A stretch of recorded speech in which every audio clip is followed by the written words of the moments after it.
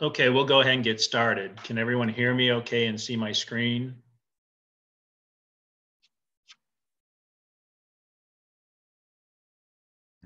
Yes. Thank you.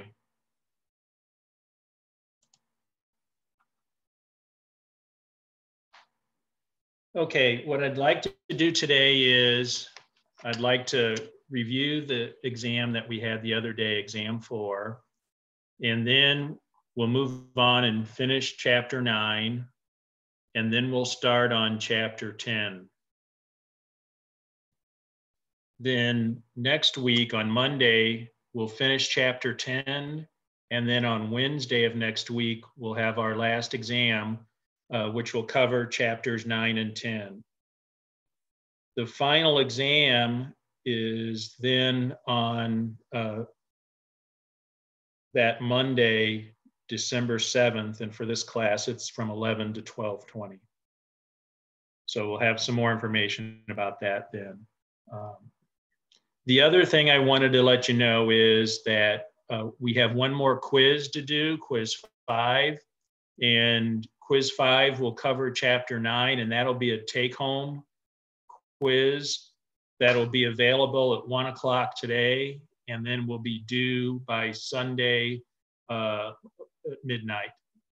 So uh, you'll have a few days to do it. I, I'll point out that there is no time limit on how much time you spend on it, but you do only get one attempt. So in other words, if you if you open the quiz and start taking it, don't close it out and think you can come back later. That's not it's not set up that way. It's set up that once you open it, you'll work on it until you're finished. So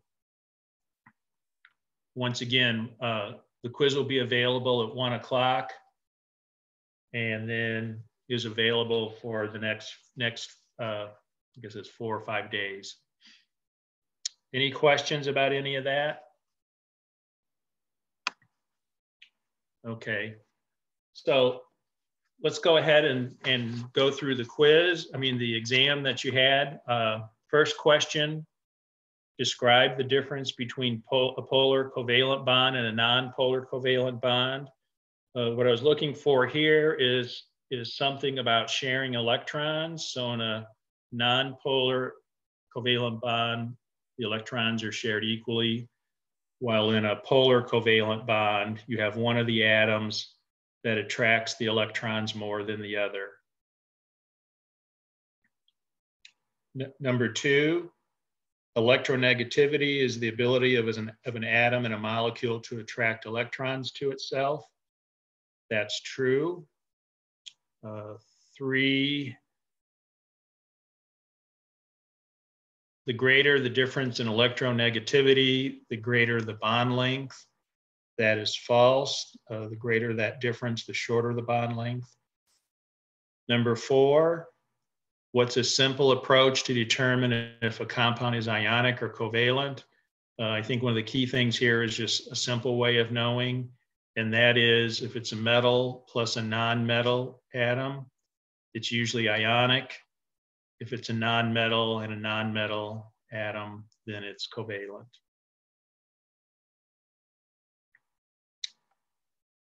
In number five, the question, it's fill in the blank. So in ionic bond formation, the lattice energy of ions increases as the magnitude of the ion charges increase and the radii decrease.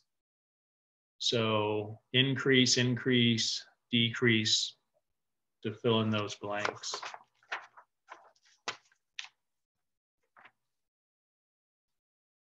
The next question was which of these bonds is the most polar? So that's where I needed to remember the electronegativity table. Upper right-hand corner is the most electronegative element.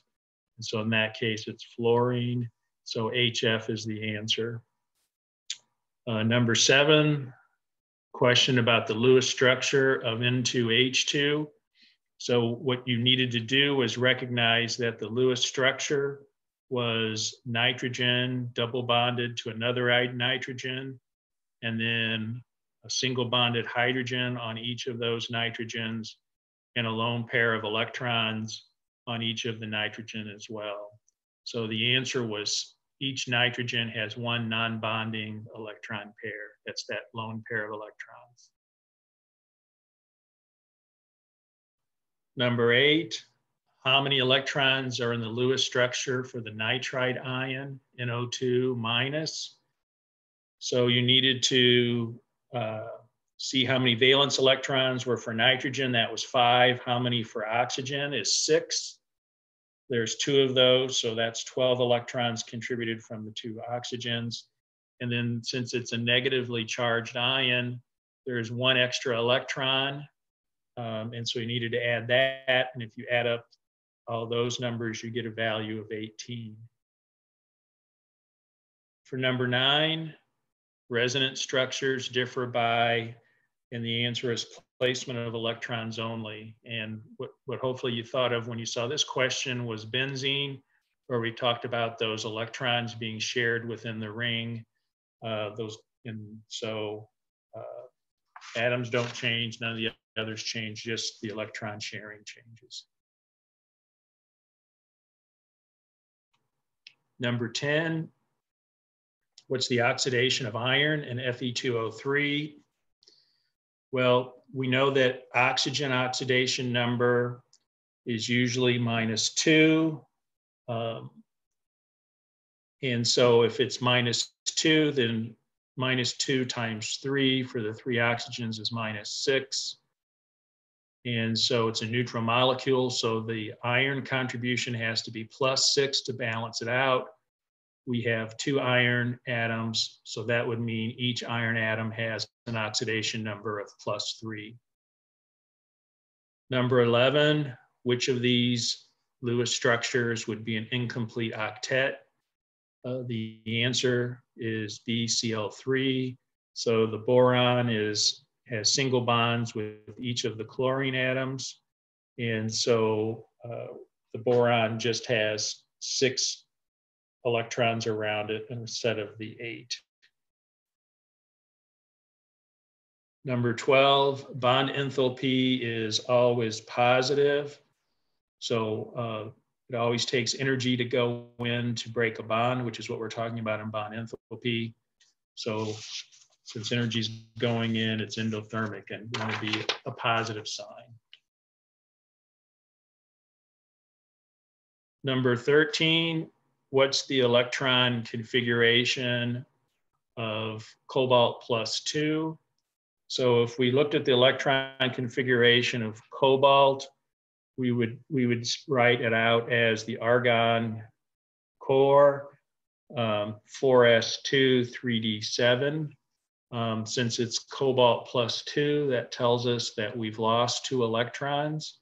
And the electrons that get lost is that those two 4s electrons, leaving us with the argon core uh, and then 3d7.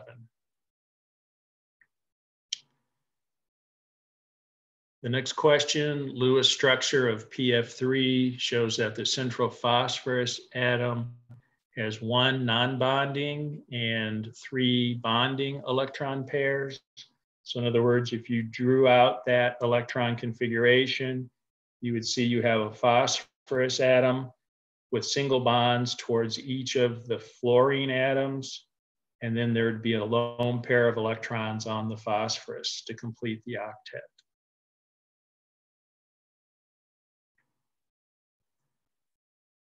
Uh, number 15, uh, screening of the nuclear charge by core electrons and atoms and the, is more efficient than by valence electrons. Uh, we kind of get a feel for that when we think of the, the Slater's rules, which takes into account the location of, of uh, the electrons.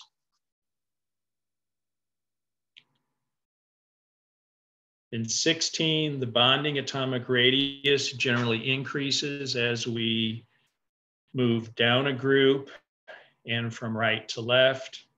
And so this has to do with the effective nuclear charge, and it has to do with that principal quantum number changing.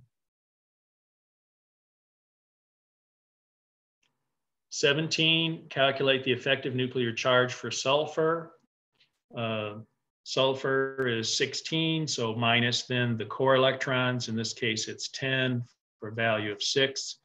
Uh, some people use the Slater rules. So if you did that, you got partial credit if you used the Slater's rules and did it correctly.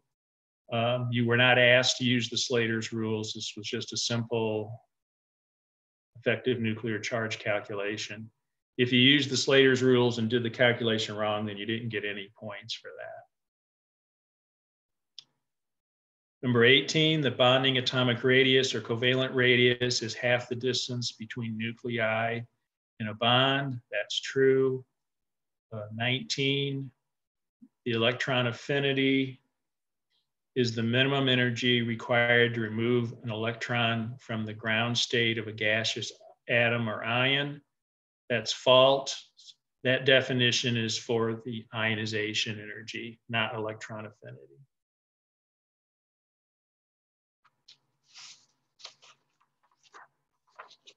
Okay, number 20. Uh, metals tend to form cations. So metals like to lose electrons, they form cations. And nonmetals tend to form anions. They like to pick up electrons. 21, most nonmetal oxides are acidic, true or false? That one's true. Uh, 22, when alkali metals react with water, the reaction is known to be, it's exothermic. Remember alkali metals, that's sodium, potassium, things like that. We talked about how those metals, when placed in water, it's a pretty, pretty violent reaction. So it's exothermic. 23, lithium plus ion is smaller than lithium atom. That's true. In general, the uh, you lose valence electrons with those positively charged ions, and so that results in a smaller, uh, smaller size. 24, this was probably the one that people struggled with the most. Um, write a balanced chemical reaction for the reaction of dichloroheptoxide and hydroxide. Uh, the first thing you needed to do was figure out that dichloroheptoxide was Cl2O7. Um, and then if we look at that non-metal oxide and go back up to question 21, in 21 we said most non-metal oxides are acidic. So that tells us that this uh, dichloroheptoxide, that's a non-metal oxide. So it must, it's acidic, acid re reacting with a base um, gives you water plus a salt. Um, so acid base gives you a, gives water and a salt in general. And so that's the case here. So then you would have known that water would be one of your products. And so then it was just a matter of figuring out which, um, which salt it was. Uh, the question purposely didn't have a counter ion on the hydroxide, so there should be no counter ion on the hydroxide, no counter ion on the perchlorate. Um, and so the answer is Cl2O7 plus 2 hydroxide going to 2 perchlorate plus water. Um, if you had some people uh, had a sodium on the hydroxide and a sodium on the perchlorate, if you did that, you just got partial credit because there was no sodium in the reaction.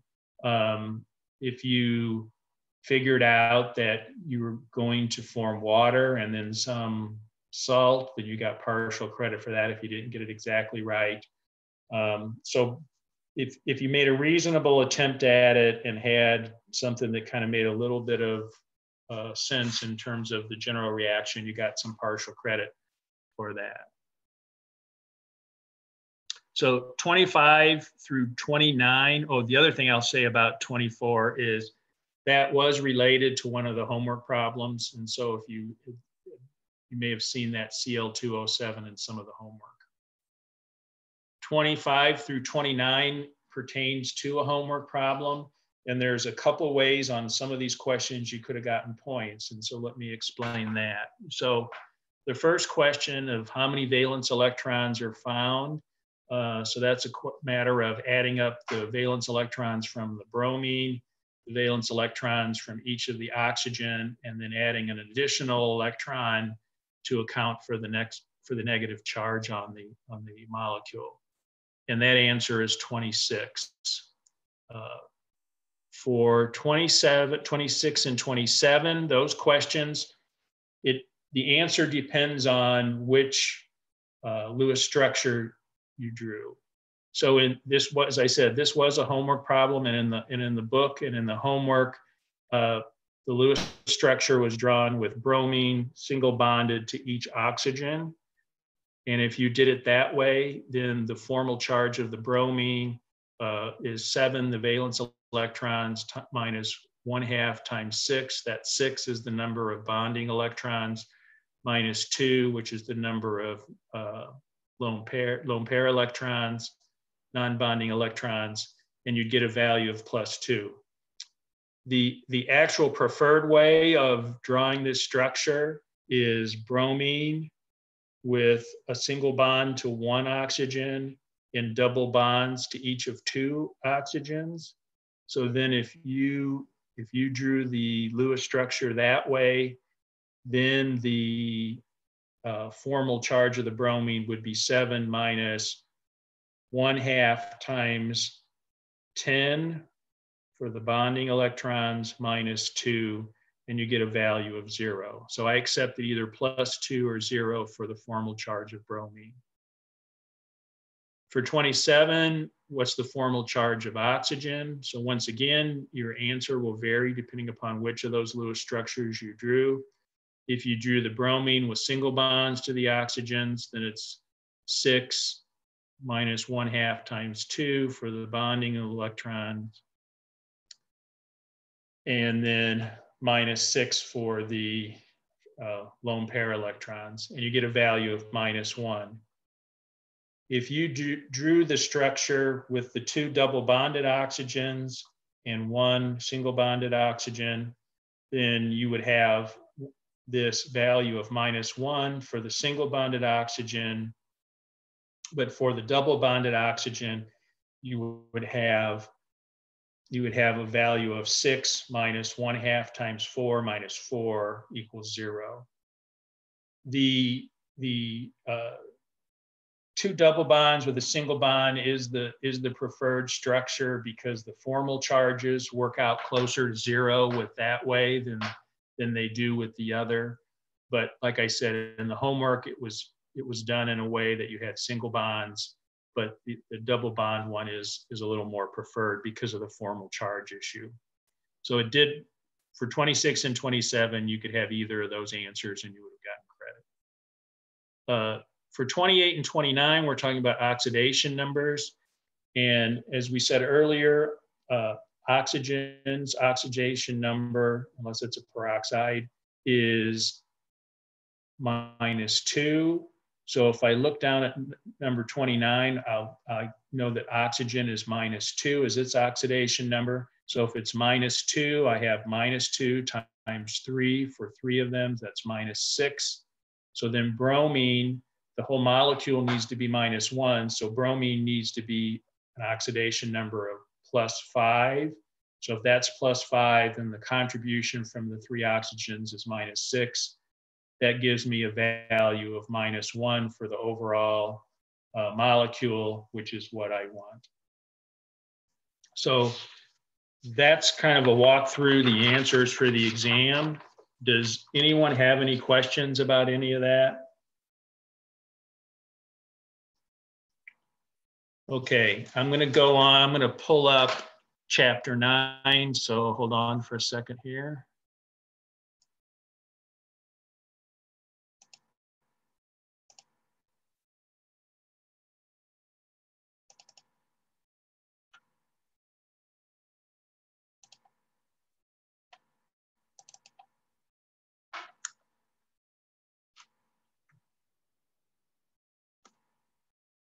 Okay, uh, what I'd like to do is last class, last lecture class, um, we started talking about molecular orbital theory and I got through part of it, but I feel like I kind of was rushing a little bit. So I'd like to go back and, and start the molecular orbital part over again, just so that um, hopefully that make that a little clearer than it was probably the last time. Um, so I'm going to go back here. We'll, we'll finish off the molecular orbital stuff today, and then I'll move on to the, the last chapter, chapter 10. Um, so a couple things I just want to reiterate about molecular orbital theory. Uh, molecular orbitals are similar to atomic orbitals in some of their characteristics. And some examples of that would be you have two elect maximum of two electrons per orbital. If the two electrons are in the same orbital, they'll have opposite spin. So that's the air, one arrow pointing up, one arrow pointing down thing. Uh, the orbitals have definite energy levels. Uh, and we can visualize the electron density by those contour plots, by those electron density plots. And so even though we'll be talking about molecular orbitals, this is the exact same stuff that we did when we were explaining atomic orbitals. So there are some similarities between them. The big difference is that for atomic orbitals, we're just talking about a single atom. When we talk about the molecular orbital, then now we're talking about things that represent the entire molecule. So now it's looking at that, that bigger picture of things. Um, it's, you know, it's kind of like when we talked about electronegativity and polarity of a single bond versus the whole molecule. Same kind of idea. So the other thing is, the difference is, is when we have two atomic orbitals that overlap, then we're going to have two molecular orbitals that are formed. And we call those one a bonding orbital and one an anti-bonding. And these bonding and anti-bonding orbitals really are how we use to predict if the molecule itself is going to be stable or not.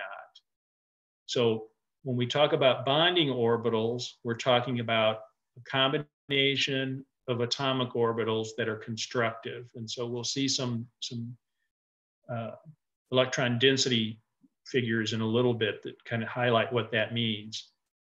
The key thing is, is that since they're constructive, it means they're, the electrons are essentially adding to each other.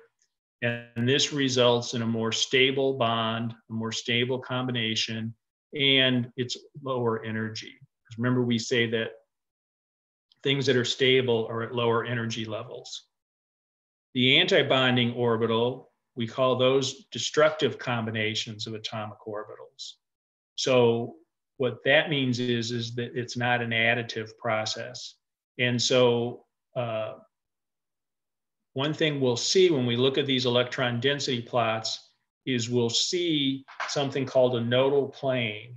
And this nodal plane in the electron density plot shows that there are no, there's no electron density uh, at that nodal plane. So electron density being zero means there's no possibility of the electrons being there. So that this anti-bonding orbital, it's going to be at higher energy and be, than the bonding orbital. And because it's at higher energy, it's less stable. So this is one thing we'll, we'll show in a minute of how to calculate out something called bond order, which takes into account the number of electrons in the bonding and antibonding orbitals.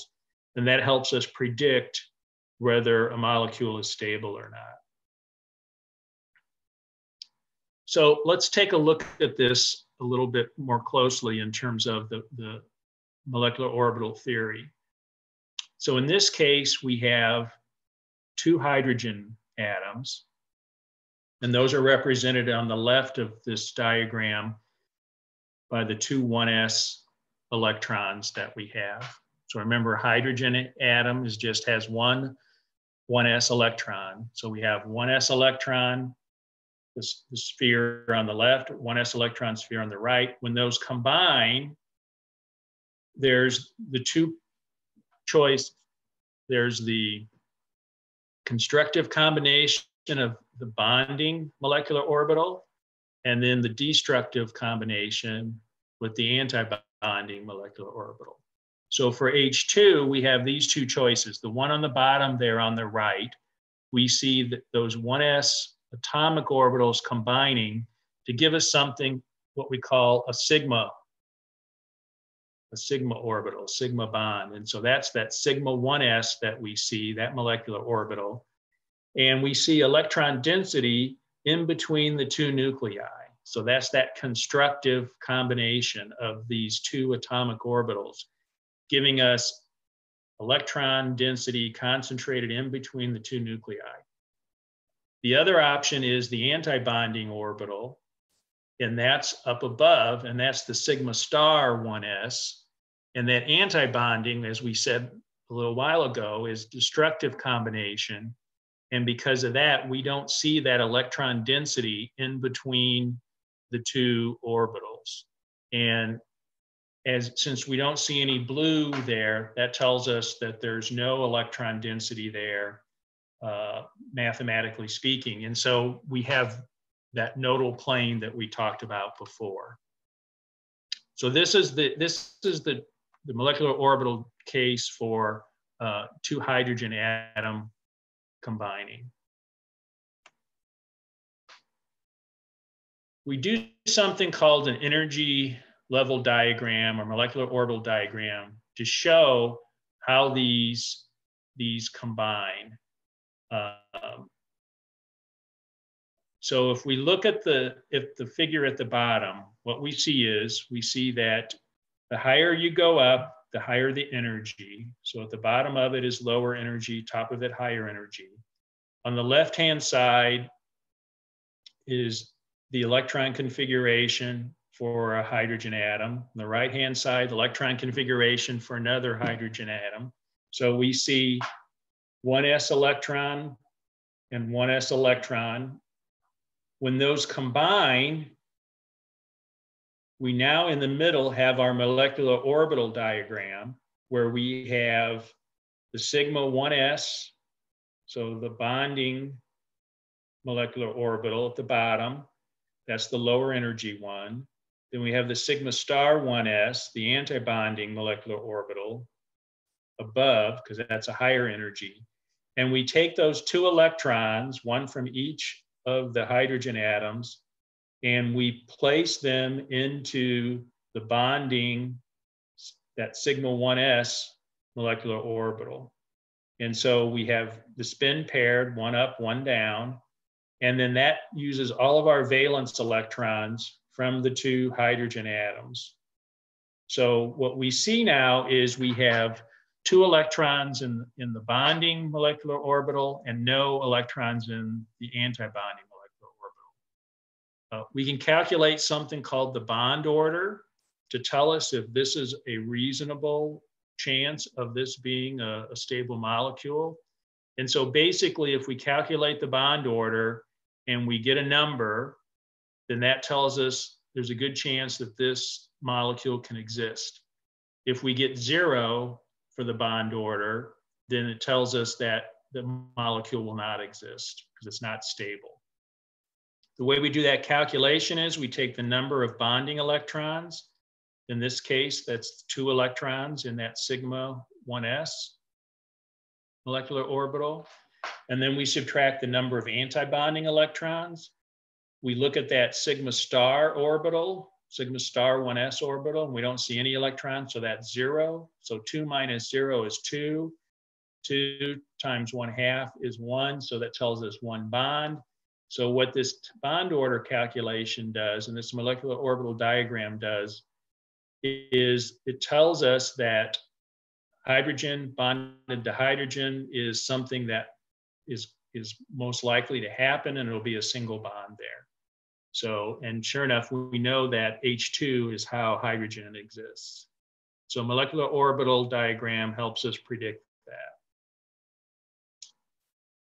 So let's take a look at helium. So helium is the next element on the periodic table. So we know that if we write uh, the electron configuration for helium atom, it's two electrons in the 1s orbital so we see on our MO diagram, we see on the left there, we see two electrons, two 1s electrons for the helium atom. And then on the right-hand side, we see two electrons, 1s electrons for that helium atom. We're going to have the bonding orbital, sigma 1s. We're going to have the antibonding molecular orbital, sigma star 1s. We know that the bonding is lower energy, the antibonding is higher energy, so we draw those. And then we go ahead and fill in our four electrons. We put two down on the bonding, two on the antibonding. And if we go ahead and do our bond order calculation, we have two bonding electrons minus two antibonding electrons. That's zero. Zero times a half is zero. So it tells us our bond order is zero bonds.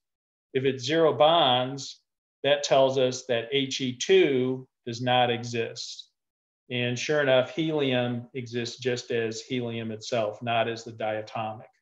So by looking at molecular orbitals, by doing the bond order calculation, we saw that in this case, hydrogen H2 does exist because we get a bond order of one. And we see that He2, helium-2, does not exist because that bond order is zero.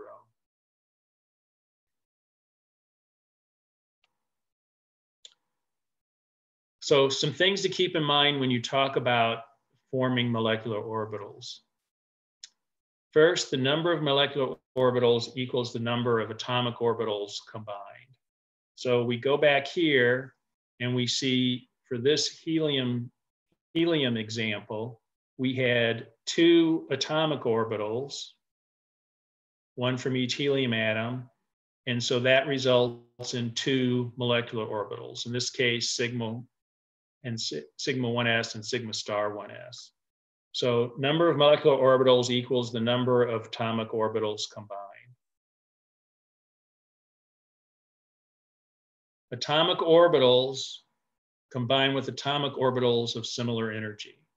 So once again, when we were looking at this example and the, and the hydrogen example, we had 1s, 1s energy levels combining. So similar energy is how they combine.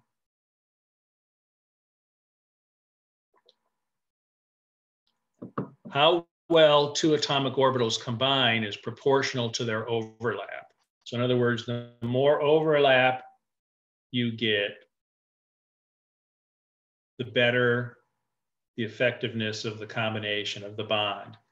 So the more energy you have, whether the more overlap you have, the energy lowers for the bonding a molecular orbital and the bonding, the energy of the bonding molecular orbital decreases. So the better the overlap, the more stable, it lowers that energy.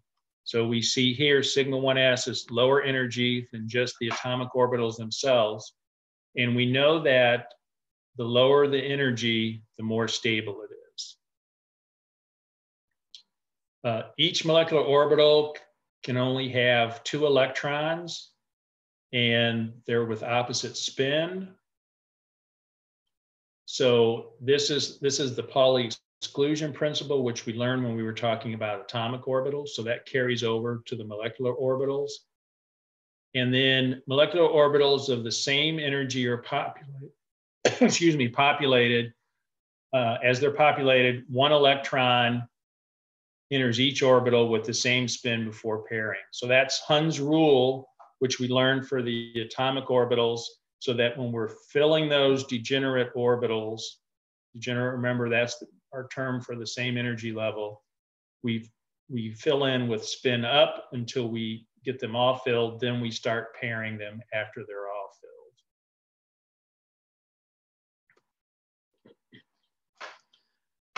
So let's talk a little bit about, about bonding and core electrons and molecular orbital diagrams a little bit more.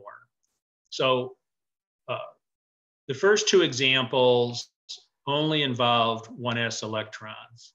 So let's go up to lithium. So now with lithium, we're starting to add 2s electrons. So we have core electrons represented by that helium core, and that would fill the 1s uh, orbitals, so sigma 1s and sigma star 1s. And then we go up into the 2s orbitals, and we would start filling sigma 2s and sigma star 2s in the molecular orbital diagram. So for lithium, three electrons on each. We start putting those electrons in. We start at the bottom and go up, filling sigma 1s with two electrons. Then we fill sigma star 1s with two electrons. Then we go to sigma 2s and we fill two electrons into that orbital. So uh, what you'll notice here is we could go ahead and we could we could calculate our bond order and we would get a we would get a value of one, which would tell us that this lithium lithium is a, a stable uh, molecule. What you see from this is that those core electrons in the 1s and 1s, so the sigma 1s, sigma star 1s, those really don't impact our, our bond order calculation. So just as a lot of times with the atomic orbitals, we didn't really worry too much about those core electrons. We would just write the noble metal uh, symbol, and then we would be concerned about the valence electrons. It's similar with these molecular orbitals as well. So those core electrons don't really pay, play much of a part in the bonding. It's those valence electrons from the two atoms that really are the key thing. So there's another similarity between the atomic orbitals and the molecular orbitals. So, you know, we looking at the s orbitals, s atomic orbitals, and looking at that overlap, that's pretty straightforward because as we remember from the lab, the s orbitals are those, those spheres. And so there's, there's one shape the overlap is pretty straightforward. It's, it's, it's not too difficult to visualize that. If you recall with the p orbitals for the atoms, the p orbitals had what I would call dimensionality to it. So we had one that was along the z axis, one that was along the x axis, and one that was along the y axis. And in this figure, we see some examples of that. We see the, the ones along the z axis have the end-to-end overlap. We have the x and y are the ones that kind of that don't have end-to-end overlap. They're, they're either vertical or horizontal and they're kind of side to side overlap. And remember, this is where we started talking about sigma bonds and pi bonds.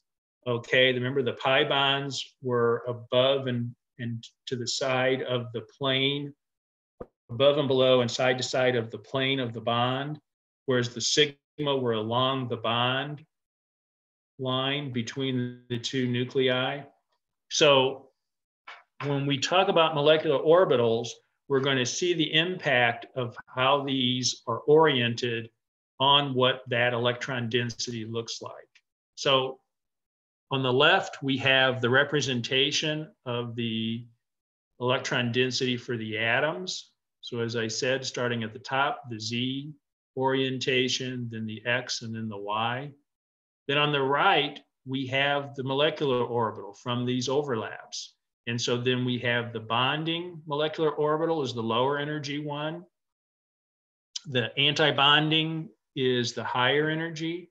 And here's, and so what we see is, let's look at the PZ one first. We see that we have those lobes overlapping, pretty substantial overlap on this for the PZ uh, p orbitals.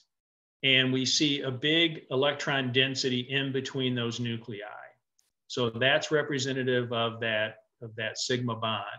We see above in the anti-bonding, we see a lot less overlap in between, and we actually see one of our nodes in between, which tells us there's no electrons predicted there. So there's our bonding and anti-bonding, anti-bonding on top, bonding on the bottom, and we see a pretty strong sigma bond. Now with those other p orbitals below, the x and y orientations, now we're getting into the representation for our, our pi bonding, which we remember was like double and triple bonding type of situation. So uh, we see for the X, we see the overlap of the nodes top and bottom, so above and below the, the plane of the nuclei. And then when we see the anti-bonding, we see that node down the middle, so we don't have any electron density there. For the Y orientation, we see once again kind of this, this sideways um, overlap, and that leaves us with the two lobes kind of to, to the front and back, so to speak, of that, of that plane of the nuclei.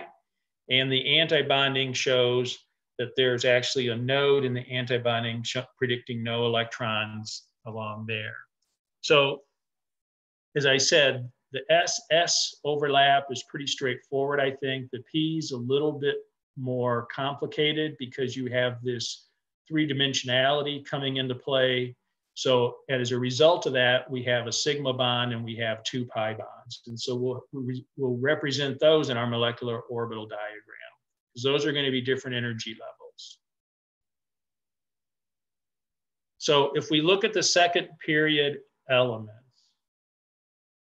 okay, so second period, we're talking, when we're talking about having p electrons present, that's boron, chlor, uh, carbon, nitrogen, oxygen, fluorine, things like that is what we're talking about. And so when we get to those, we not only have s electrons, so the two s electrons, we have, well, of course, we have the one s, but we have the two s electrons in terms of valence electrons, but we also start to have two p electrons. And what we see is we have sigma and sigma star for both the s electrons and the p electrons. In addition, for the p electrons, we have the pi electrons that we just talked about. And notice in that molecular orbital diagram that the sigma electrons, that's greater overlap, so it's, it's a lower energy. So that's that sigma 2p is at a lower energy level than the pi 2p orbitals those pi 2p orbitals, we see there two of them, and they're at the same energy level. And so that tells us that they're degenerate. So remember, we say that energy levels that are orbitals that are at the same energy level are considered degenerate. So just as with the 2p atomic orbitals, those three are at the same energy level. Now the, the molecular p orbitals, the sigma 2p's at a lower because we have a greater amount of overlap, so lower energy. And then the pi 2p is a little bit higher, but those two pi 2p's are the same energy.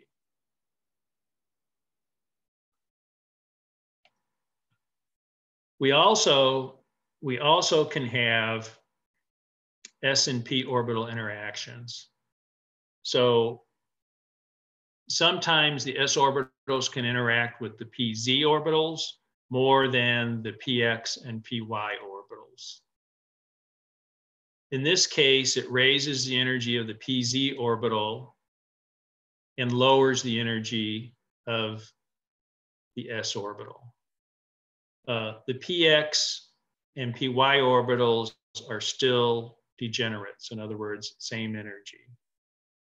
So we see this that in the diagram, we see that typically that sigma 2p is below the pi 2p, but as we have more 2s 2p interaction, we can see that energy go up for this sigma 2p.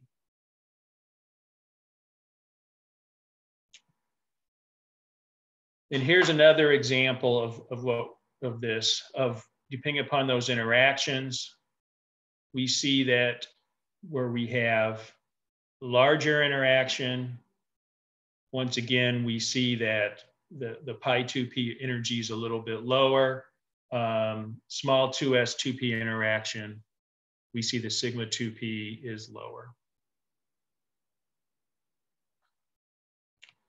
So one concept I want to talk about is, is molecular orbitals and, dia and magnetism. So there's two types of magnetism, diamagnetism and paramagnetism.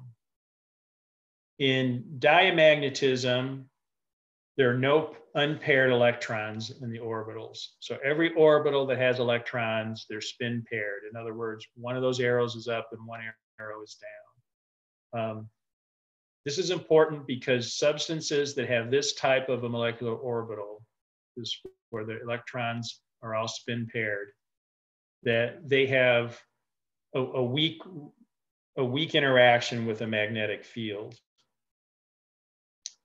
If the molecule has one or more unpaired electron, then it has a greater interaction with the mag with a magnetic field. And so the more unpaired electrons you have, the greater that attractive force is with the magnet. And we call that paramagnetism. So by taking advantage of whether compounds are dia or paramagnetized, it'll they'll behave differently in a magnetic field. And there's something called nuclear magnetic resonance NMR, which is a field which people can identify molecules and get a feel for structure based on how the molecule behaves in a magnetic field. So that's why this, this magnetism, which we can assess through the molecular orbital calculations, is important. So up until now, we've talked about diatomic molecules, in other words, just two atoms.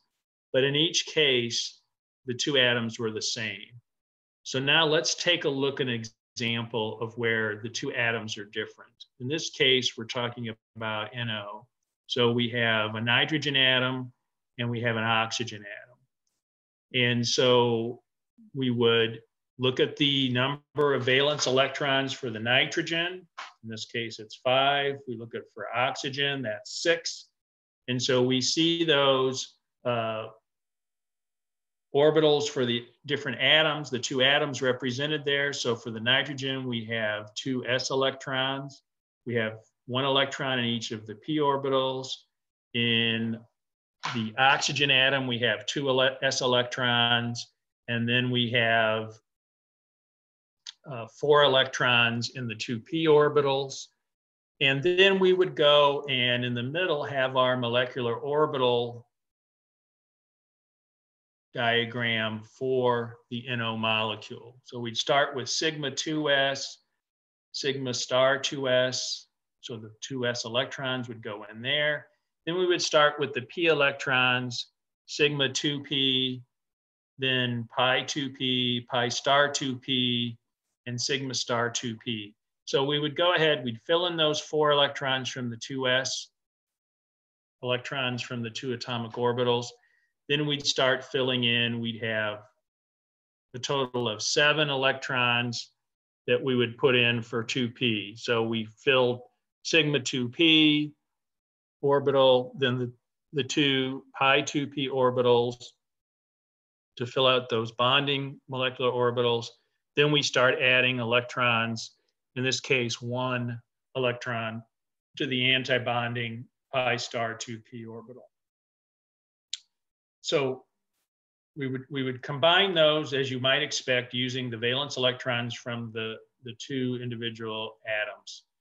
What you also notice though, is that when we drew these other molecular orbitals, let me go back to one here, in this case, when we, when we did this one, we said that the atomic orbitals on each side were at the same energy level. So in other words, the 2p and the 2s on the left are the same energy level as on the right. When we have a diatomic molecule that has two different atoms, then the atom that is more electronegative will be a little more stable and its energy will be a little bit lower. So we look in this case with nitrogen and oxygen. Oxygen is more electronegative than nitrogen. So the oxygen energy levels are slightly lower than the nitrogen energy levels. And so we see that little bit of an offset there. So we look at the 2s and we see the 2s box for the oxygen atom is lower than the 2s box for the nitrogen atom. Same with the p electrons, slightly lower for the oxygen versus the nitrogen. Uh, the other thing we see is that this means that the energy level for the atomic orbital, in this case for oxygen, is closer to the molecular energy level for the molecules, molecular orbital. And so, uh, once again, the more electronegative atom will be slightly lower in energy for its atomic orbitals versus the other atom, and it'll be a little bit closer to the molecular orbital energy levels. So there's some homework associated with this. Please take a look at it. A uh, couple things I just comments I want to make in general about the molecular orbital stuff is, as you probably see, there are a lot of similarities between working with the atomic orbitals and the molecular orbitals. The big difference is, as you start to do this on a molecule scale and by doing the bond order calculations and things like that, you can start to predict whether or not a molecule is stable. The other thing you probably picked up on is we really looked at some pretty basic examples here. Um, we initially looked at hydrogen, then we looked at helium, we worked our way up to lithium. But in each of those cases, we weren't talking about very many electrons, and we were talking about diatomic molecules. So it's a pretty simple molecule. And we were talking about, in those cases, the same atom. At the end here, we branched out a little bit and while we stuck, stuck with uh, diatomic molecules, we did have an example of two different atoms. So we see a little bit of more complexity in that, where we start to see some of these energy levels shifting as you get more and more involved with these types of molecular orbital diagrams and things like that, you see a lot of shifting of energy levels and it just gets a little more complex to figure it out. We're not going to get involved with a lot of that, but I just wanted to mention it that, that this is a taste of, of what goes on in trying to predict the stability of some of these molecules and that. And by looking at some of these uh, more straightforward examples, you get a feel for how you go about doing that. So that wraps up chapter nine. As I said, your quiz, your online quiz uh, that'll be available today at one, that is, will cover chapter nine. Uh, any questions on the molecular orbital stuff before I move on to the next section? Okay, let me give, give me a moment here and I'll pull up the next slides.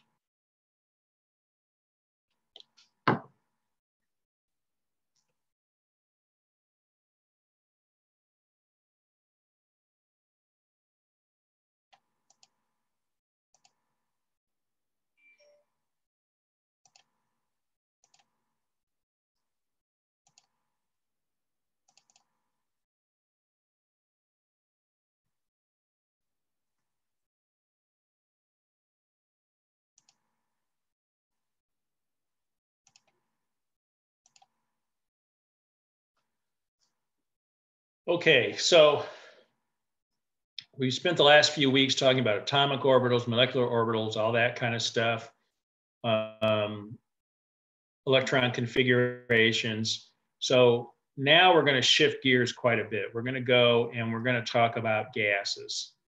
And so this will be a little different focus than what we've had. Um, so when we talk about gases, there's a few few things we want to we want to mention.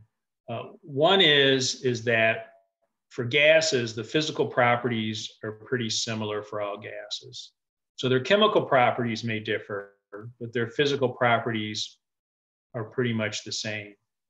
So in other words, all gases kind of have the have the same physical nature versus when we talked about solids, you could have differences there. Liquids, you could have differences. Gases, the physical properties are pretty similar.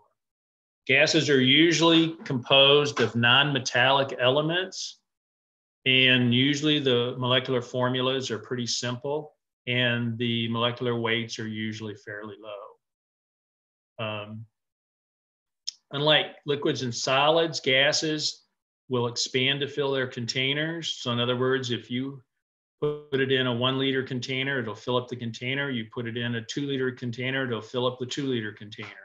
Whereas liquids, if you have one liter of liquid, it fits in a one liter container. Uh, it doesn't fill up more if you put it in a bigger container. So gases expand to fill their containers.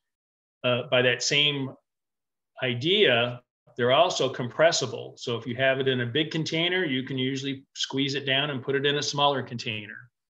Uh, and the reason for this is they have really low densities. So if you think about density, um, uh, gases aren't very dense. There's aren't that, that, many molecules floating around. And so that's one reason why you can compress them. Uh, and then finally, if you have two or more gases, they will form a homogeneous mixture. So when we talked about solutions and things like that, we could have precipitants in it and we could see solids in it and things like that. For gases, if you have a couple of gases, they will, they will blend together and become homogeneous with time. Um, and that centers around the movement that we'll talk about here in a moment. Uh, some common gases. And so these are things that at room temperature are common, some of which you may have heard of. Uh, hydrogen cyanide, that's a very toxic gas. Hydrogen sulfide, H2S. If you ever hear that rotten egg, ever smell that rotten egg smell, that's usually hydrogen sulfide. Um, carbon monoxide, that's the thing you worry about. Uh, you hear about in people's houses sometimes and they, they die from it. Uh, one problem with it is it's colorless, odorless, and very toxic. So that's why people don't know it's there. Uh, carbon dioxide, CO2. So that's what we hear about about emissions in the environment all the time. Once again, it's colorless, it's odorless. Uh, methane is, is flammable. Uh, ethylene, C2H4, uh, that's interesting just because that's a gas that's used to ripen fruits. They ripen bananas that way, uh, but it's used to help ripen fruits. Propane is what you would use in your grill if you have a gas grill. Uh, nitrous oxide, sometimes people call that laughing gas, and, and they'll use it at dentists and some places like that as a sedative. Um, NO2, uh, that's one of the few that we'll see that that has some color to it and it does have a toxicity to it. Uh, ammonia and sulfur dioxide, two others. Um, one thing I'll point out about these gases is that most of them are colorless. So a lot of times people will see gases coming out of smokestacks and things like that, and they, they wonder what it is. More often than not, that's actually just water vapor because most of the gases that we worry about are colorless and so you don't you don't see them. So the, the gas that we're most familiar with and, and is most important to us is is simply air. And so uh, let's talk about what is air made of. So air you know we always talk about we need oxygen to breathe and so there's certainly oxygen in air but oxygen only makes up about 21% of air. Air is predominantly nitrogen. So air is about 78% nitrogen, 21% oxygen, and then lower levels, less than 1% of argon, CO2, neon, helium, and some other, other assorted gases. So uh, we need oxygen certainly to live, but really air is mostly nitrogen.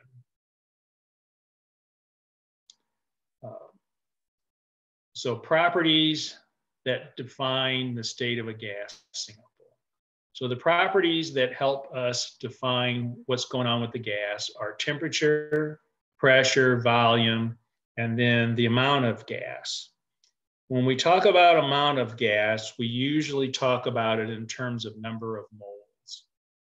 Well, we've talked about temperature a bit in the past and volume and moles.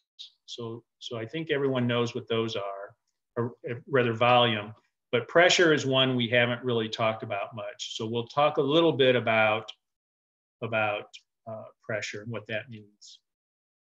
So when we think of pressure, think of a swarm of particles.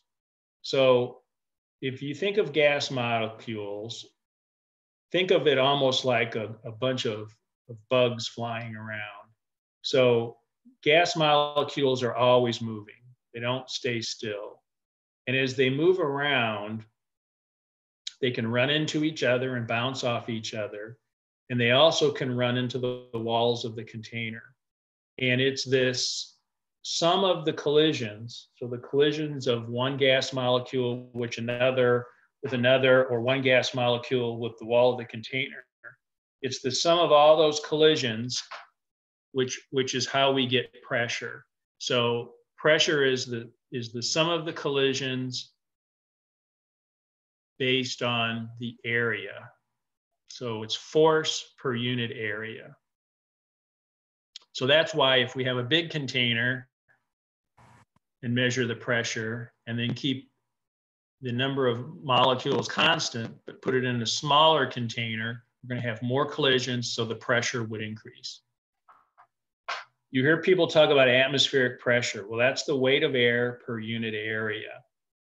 And then also, once again, pressure is directly proportional to the number of gas molecules that are present.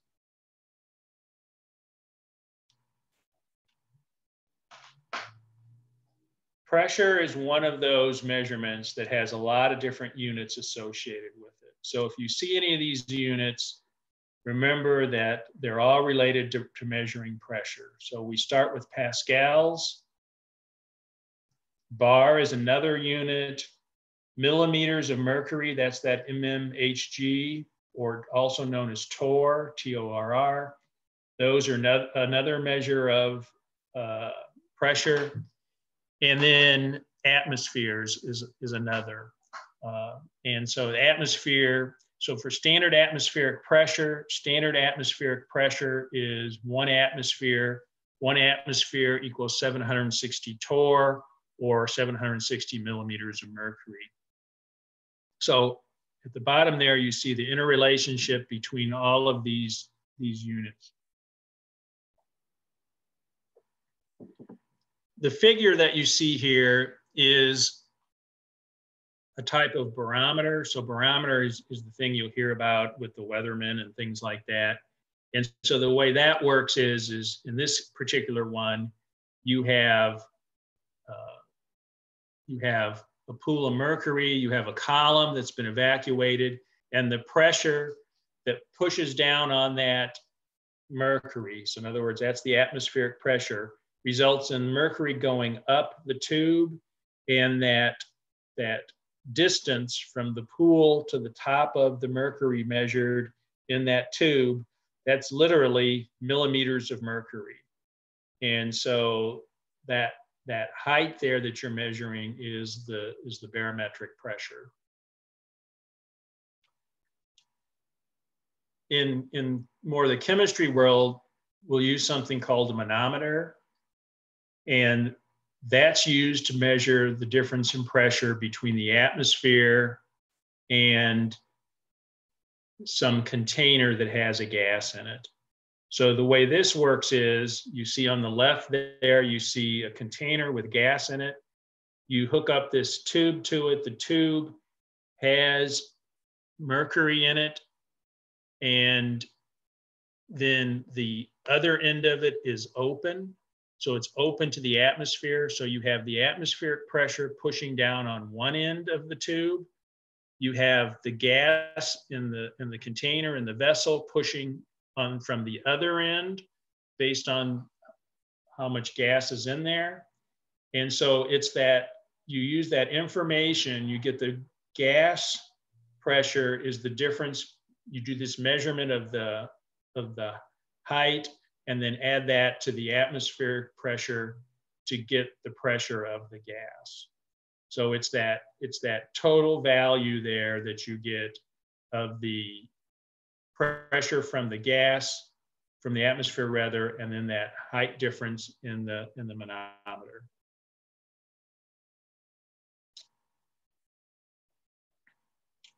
Let's talk a little bit about how these different properties of gases relate to each other. So pressure, that's usually represented by P.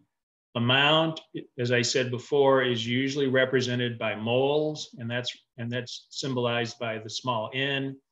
Volume is usually expressed in liters, and that's symbol is V. And this one's important. Temperature is expressed in Kelvin. So just as before, we had some calculations where we express temperature in Kelvin in order to make the formulas to work. When we talk about gases, it's the same thing. We need to, when we work with temperature, we need to change it from degrees C to Kelvin.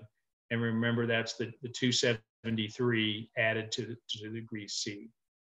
If one of these things changes, the others change. And one of the things we're going to explore here is just what those relationships are. The first one we're going to talk about is Boyle's Law.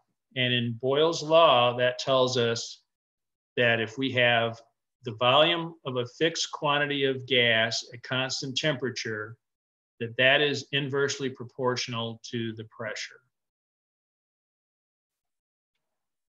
So what that means is, is that if the pressure of a gas is increased and we've, we've kept the temperature constant, and we've kept the amount of gas in terms of moles constant, that the volume will decrease. Um, and we can express this mathematically as P1 V1 equals P2 V2. So P1 and V1 are that initial pressure and volume values. P2 and V2 are the pressure and volume values that we'll get if we do a change. And so this tells us that pressure and volume are inversely related. And it makes sense because if you think about it, if you have your gas molecules and you put it in a smaller space, then they're going to collide with each other more often. They're going to hit the walls more often. So you decrease that space, the pressure is going to go up because we said a pressure is basically the measurement of those collisions. let's look, let's look at an example. Let's look at an example for where this type of calculation. So if we had a weather balloon and it was inflated to 55 liters, and we're at we're at a place where the atmospheric pressure is 755 millimeters of mercury, and then we wanted to find the volume of the balloon if it started going up in the air and the atmospheric pressure was now 135 millimeters of mercury. So if you think about the balloon, balloons are pretty flexible, so they can expand or contract. And so now what we want to do is, assuming temperature hasn't changed, assuming the number of moles of molecules hasn't changed, and so now as we've changed this pressure from 755 millimeters of mercury to 135, what's our new pressure, what's our new uh, volume gonna be? So our V1 is 55 liters. Our P1, we said, was 755 millimeters of mercury. The new pressure, P2, is 135 millimeters of mercury. This should say uh, V2 instead of P2 there. We're trying to solve for V2. And so that's where we said Boyle's law told us that P1 times V1 equals P2 times V2. Well, we know P1, we know V1, and we know P2. So we just need to solve for V2. If we rearrange Boyle's law to solve for V2, we'll take that P2 and divide it by both side into both sides. And so now we have V2 equals P1 times V1. We can then go and just simply fill in our values for those variables. And we see that uh, under this new pressure, As the pressure decreased, the volume is going to increase in that balloon. And now it's gone from 55 liters to 308 liters. So there's an example of, of how pressure and volume for gases are related. By changing that pressure, we change the volume. Pressure went down, volume went up. So that's that inverse relationship that we talked about. The next one we're going to talk about is Charles' Law. I'm going to stop there for today.